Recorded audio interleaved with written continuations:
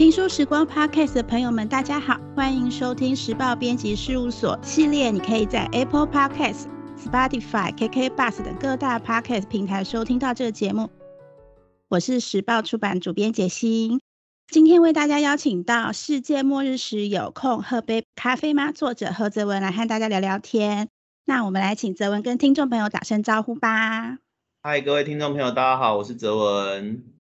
因为大部分呃认识泽文作者，就不 认识泽文的读者，因为他的个人品牌，因为他的职涯实验室，所以大部分都是职涯这方面的呃身份，然后告诉年轻人一些职场的方向。然后之前也有为几个大学，然后做一些演讲这样子。那这次的新书《世界末日时有空喝杯咖啡吗》主题呢，其实。也不能说和以往不一样，因为其实泽文就一直有在换日线写这样子主题的文章。那只是说呢，我们把他过去五年去东南亚冒险的旅程，还有一些心情记录下来，然后用这本书来跟大家做分享。那当初其实，呃，我们找泽文合作的时候，也有往一些商管方面的那个路线，比如说什么什么思维，什么什么习惯。之类的，那大概在二零一六年的时候呢，其实呃，我那时候在其他家的出版社，就在《换日线》有看过很多篇很多篇泽文的文章，我其实非常的喜欢。所以当我们在讨论商管路线的时候，忽然想到，哎，为什么我们不要出一开始我们就注意到的这系列的文章呢？那所以就我们因此产生了这本书。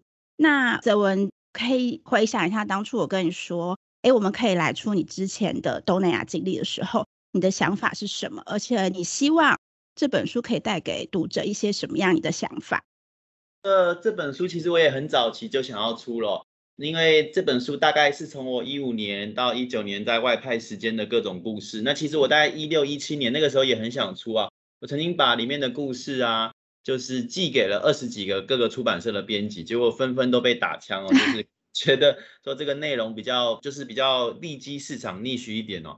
那我很喜欢这里面的故事的原因，是因为这里面是它不是说为了特别写而写，是真的你在当地生活、旅游或者是工作上遇到的各种的人啊、事情啊交织而在一起的。那这个过程当中，我觉得让我学到最多的是人跟人之间怎么样建立起一个心灵上的连结吧。因为我们其实都会受到自己文化的一些影响。那我在海外工作，不管是在越南啊、中国大陆，还有东南亚各地游历，我发现，其实虽然我们的文化不一样，我们有不一样的成长背景，但是我们作为人的本质是一样的。所以这里面的故事讲了很多，我觉得它最重要的就是我们要怎么样的互相的沟通跟理解彼此，然后尊重跟包容吧。嗯，其实这个我们分为三部分嘛，然后第一部分其实。比较偏重于泽文在东南亚出差跟旅行的一些经历。其实第一篇就已经让我觉得印象深刻，就是明信片这一篇。当初我看到的时候，觉得哎，很少有去旅行的人会有这样子包容的想法，因为我们还是会有一些包袱在身上才出国旅行。可是泽文出国旅行的时候，把心胸放得很开，然后遇到了一些不同。地方来的人，然后都会彼此交流，而且去观察一下对方在做什么。那可以请泽文跟我们聊聊明信片这一篇，那时候有发生什么让你印象深刻的事吗？那个是大概一四年的时候，我第一次当背包客去清迈旅行。那那时候我特别紧张啊，因为你第一次一个人嘛，也没有跟团，也又又是没有其他朋友。又到泰国这种文字跟语言都不通的，因为比如说我们去日本啊，或者去日韩这种我们文化比较近的，你可能还看得懂一点当地的一些，他可能会标中文或汉字啊，等等等等的。那去清迈，我那时候就很紧张，我我我都记得我那个时候，呃，在他们的一个清迈一个寺庙，当时就遇到了两个中国大陆来的女生啊，女生她们也去做背包客。那一开始我很害羞啊，没有想说跟他们多聊什么，但是他们就很热情，还送我了。两个他们的他们学校的明信片，当时我就觉得说，哎，很特别哦，因为我们传统对于这个中国大陆的人士哦，都会有一些偏见，比如说当时我在我在那个庙里就看到有一些，比如说他们习惯没有说在我们的理解上是这么这么适应的，那我印象就很深刻，遇到那两个女孩呢，她们跟当地的人的交流，比如说他们看到了。当地有一个阿嬷，明明不懂中文跟英文，却想跟他去交流聊天。那我是觉得很好笑，我觉得语言既然不通，你你要跟他讲什么？但是我才发现他们比手画脚下，哎，那个泰国的婆婆竟然也也可以理解他们要干嘛，也可以沟通，嗯，就可以沟通。然后接着那个婆婆还教他们讲泰国话，就双手合十说 k o k u n ka，然后就 谢谢的意思。然后那那两个女生还可以跟他交流的很好。我当时印象就很深刻啊，这个两个女生送了明信片，说是他们学校的明信片。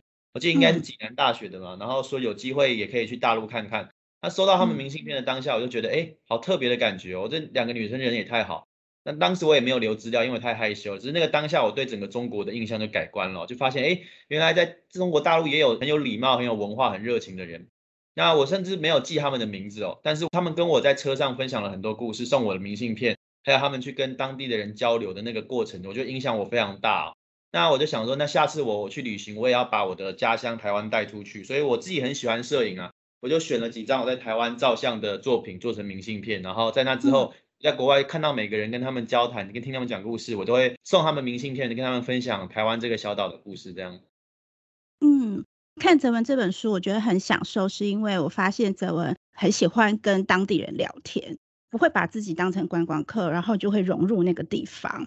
那其中，我觉得除了刚刚那个呃明信片这一篇之外，还有一篇是嘟嘟车，我也觉得非常非常有印象。因为那个文章里面的阿潘呢，他其实是那个柬埔寨先例的嘟嘟车司机，可是他其实会英文会日文，然后可能家里环境不是这么好，可是只能当嘟嘟车司机。泽文他有很感慨的，就是你写了一段话，我觉得让我觉得蛮感动的。就是当时你外派在东南亚工作嘛，然后你写了说，不是因为我有多优秀，重要的是我是台湾人。世界上就是有这么多这种根本上的不公平。那我觉得这句话让我很感动，因为你会反思自己的幸福。那泽文要不要跟我们分享一下这个故事，然后再跟我们分享其他你觉得比较有印象的故事？嗯，这个故事其实很酷哦。那个故事是我在先例的时候，其实在这个故事前遇到一个日本的年轻人哦。那日本年轻人他叫河野哦，然后他后来我们一起约出来要吃晚餐，他就带了一个嘟嘟车司机出来，那川野，他叫川野啊，卡瓦诺川野。然后他在他的嘟嘟之间看起来是温和的人啊，川野跟我说这个司机很很好，可以相信他。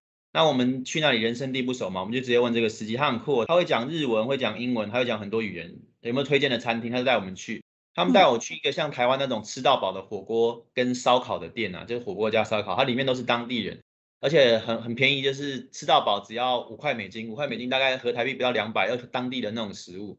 嗯，那我们就准备进去嘛。那个后来这个司机突然跟我们说，只要我们愿意请他吃这餐哦，车费就算了这样子。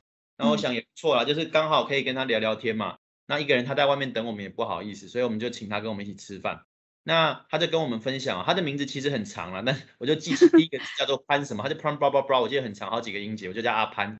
哦，我们就天南地北的聊起来。那我是历史系背景的嘛，所以我我也跟他分享一下，呃，跟他们分享很多历史的故事啊，台湾的一些背景啊等等的。那阿潘也分享他的故事哦，他就分享，因为他是柬埔寨人嘛，他跟我分享了柬埔寨的一些状况，比如说柬埔寨人很亲越南，然后人民其实不喜欢政府的政策哦等等的，然后柬埔寨也很感谢日本。就是我们传统印象中看新闻会觉得说，哎，柬埔寨感觉很轻松，但是柬埔寨人民其实对日本的印象比较好，反而是政府比较轻松了。那当时我就发现，哎，他跟我讲国际政经的局势是很非常的有条有理，而且他看的世界虽然他没有出过国，但是他对整个国际的局势他都非常的掌握。那我就很好奇了，这样的一个感觉，嘟嘟车是一些乡下人，怎么会知道这么多事情哦？甚至他还知道一些我不知道的，比如说什么呃中国宝鸡啊这个城市这种三线城市他都知道。对啊，那我就问他，他当时的情况怎样？他我是二十七、二十六七六岁见到他，那个时候他也二十六岁，他跟我同年哦。他二十六岁还在读大学，修的就是政治。那为什么二十六岁还在修大学呢？因为他自己柬埔寨当地的那个经济的情况，主要开外援嘛，所以他们很多当地的人民就是需要自己兼差。他就是边工作边读书，然后可能休学，然后再继续慢慢读。所以在柬埔寨很多大学生都二十五六岁，就是他可能哎十八岁先去工作，工作存一笔钱再去读书，读书可能又是边半工半读。然后我们就跟他聊了很多不一样的故事哦，他就跟我分享了他实际的生活。嗯，我我就直接问他他的薪水多少钱了，他就跟我说他的薪水其实只有一百二美金一百二美金和台币大概现在现在可能三千出头吧，其实非常不够用哦，因为柬埔寨的物价因为观光的地方非常的高，对啊，他没有想到毕业能干嘛，然后是过了赤贫的生活这样子。他也抱怨说啊，他曾经去饭店工作却被压榨，超时工作很辛苦。那我觉得很感慨啊，就是他其实很厉害，他会讲很多语言，他的国际视野跟洞见其实超过大部分台湾年轻人，就是他知道很多事情。但是因为他生在这样的国家，拿三餐温饱只能拿三千台币。我就问他家里的情况，他跟我说他现在独居，一个人离家讨生活。我一讲到家里他就哭了，他跟我说他大概十岁的时候，他父母都死了，他就变成孤儿，跟姐姐相依为命。后来姐姐嫁出去了，他就只能一个人工作。那现在努力读书，想要有更好的前途，不放弃升学啊。那这种故事在台湾，感觉你你这种故事讲出来可以写书了，就就你可以你会上那个报纸嘛，一定会对人蜂拥捐款，这么惨这么悲惨。结果跟我说，在柬埔寨几乎大部分的人哦，九成的青年很多都这样的背景，他可能就是呃家人就是遇到一些变故等等。那我就很白目，我那时候很白目，就去问说，哎，那你爸妈是怎么死的？这样子，真的 有点白目。对，他就跟我说，他有，他就说有蚊子叮他妈妈就生病死。我就觉得，哎，蚊子叮了就死了，在我们台湾感觉不可思议吧？那卫生的问题。对，我们就问他说，哎，那那被蚊子叮死的人多吗？他就低下头，他就很生气啊。他那时候蛮愤怒，他说，其实当地的人其实很多人就被蚊子叮一叮就生了不知道什么病就死了，然后送去医院又太贵，很多人甚至只能在家里等死。那政府就为了那个国际形象，就会隐匿这种疫情之类的。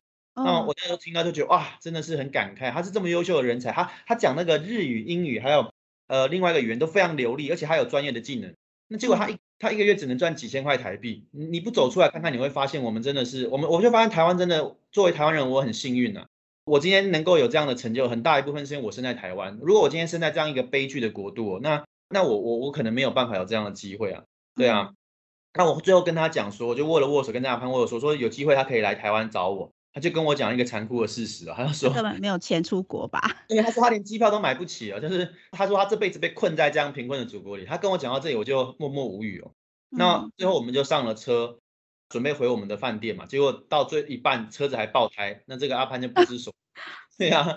然后路边的警察还关心说发生什么事情。那因为爆胎了，他的交通工具就是就是那个嘟嘟车嘛。那个嘟嘟车他爆胎也不知道该怎么办。然后呢？但是他心里还是想着，不知道我们怎么办。他先帮我们拦了一台车，还帮我们付了车钱，然后目送我们离开。我们就看着他那个身影慢慢的远去哦。那我当时才发现，我们就很很幸福。其实没有什么事情是理所当然的，对啊。嗯，而且也不知道怎么联络，对不对？因为其实那边讯息也不是这么方便。对，没错没错，就是真的是这样的一个情况啊。嗯，好啊。那其实泽文很喜欢拍照，很喜欢摄影。所以其实刚刚有讲到说，呃，泽文因为那两位中国的女生的影响，会随身携带明信片，然后去出国跟大家做一些交流。所以我们就想到说，哎，那干脆来做一个纸上摄影展。那那时候，呃，我们想到的是，可以在每一篇，就是每一张照片写一个小故事。然后我就跟泽文说，哎，那不如你就写一个这张照片发生的事情好了。结果泽文就跟我说，哦。他以前就是其实很会写诗，有被国文老师称赞过，所以就问我说：“哎，那我们可以来写诗吗？”所以就变成纸上呃摄影，然后诗集展这样子。怎么可以分享一下你为什么喜欢摄影？那拍照这件事情对你来说有没有什么不同的意义？呃，我觉得摄影的概念，我从小就很想要当国家地理杂志的摄影师啊。真假的？为什么？因为我小时候其实有一点阅读障碍，就我我小时候看字会跳行，然后。看那个文字的书看不太下去，可是国家地理杂志就全部都是照片嘛，照片又拍得很漂亮，就可以看到当地的人文。所以我小时候就有个梦想，说有机会，因为我想出国看看外面的世界，又可以这样子诶讲故事、分享东西，我觉得很棒，所以我就想说这样子去当国家地理杂志的摄影记者。所以从小就有这样的一个梦想啊。那当然后来没有当了，就是后来就进入业界嘛。可是没有忘记自己喜欢的摄影梦，所以我大学的时候也是摄影社。那个时候大学也买不起相机嘛，所以就是。参加摄影社去拿学校的相机帮忙拍拍照，这样子。嗯，对。那写诗的部分，你要不要讲一下？就是其实你一直都有写诗的习惯吗？哦，写诗哦就好玩嘛，就是小时候国小的时候就会有那种国语课，就会写童诗啊。那我觉得这个写诗，其实我也不懂写诗啊，我其实看很多现代诗都看不懂他们在写什么，就觉得哎，反正就是按照把自己的心情写出来。对对对。嗯。然后，因为这本书我们谈到的面向很丰富，我们刚刚大部分都在讲第一部分，然后其实第二部分有讲一些呃东南亚的人来台湾的状况，然后台湾人去东南亚那边发展的一些文化差异的背景的状况。那第三部分还有一些泽文对于历史冷知识的一些观察跟收集资料。那有一些我觉得还蛮有趣的。这本书包罗万象。那最后泽文可不可以帮我们用三个关键字分享你认为可以看的最好看的看点，向大家推荐这本书？我觉得这本书很很酷的，就是它跟一般的旅游书或者是一般的那种不大一样，它是很很叫接地气吗？因为我这个人很喜欢跟当地人交流、聊天、分享，所以它有点像冒险故事啊。因为很少人会像我这样，哎，路上遇到陌生人说走，我们去喝酒，我就跟着他去了，然后 语言也不怎么通啊，怎样各种的这种，甚至呃，可能一般人才说，哎，这个人怎么这么，都很多人那个时候都会笑我说，哎，泽文你都不怕被人，就是你不怕遇到坏人嘛？你怎么这么相信路人？你怎么？对啊，甚至他们有些人可能在当地遇过抢劫，都说哇，你真的运气很好，为什么你都没有遇过那种不好的事情？嗯，那我我个人觉得这本书很大一个概念就是它它里面讲了一个核心的精神，就是我们要怎么样去看待这个世界，我们要怎么样的去思考我们的这个人生，然后去有不一样的观点去了解。哦，对，这样的概念，我觉得其实台湾毕竟是一个世界的。就是我觉得是台湾是东北亚跟东南亚的输赢有了。那那我们台湾人其实很重要的是，我们其实是这个地球。国际的一份子啊，很多人会觉得说，哎，海外啊，然后跟国家内部就本国啊，或者是这种世界啊，会二分法。但是我觉得台湾本来就是世界的一部分。你如果换个眼光看呢，在书里面我们也提到很多在台湾的一些故事，在台湾的一些外国人他们怎么看待自己的作为一个新移民或者是工作的一个故事哦。那我觉得这个都给我们很很不一样的启示啊。也加上我是历史系的，这里面也有一些故事是生活当中，比如说我就会思考，哎，为什么台湾人很喜欢喝热水？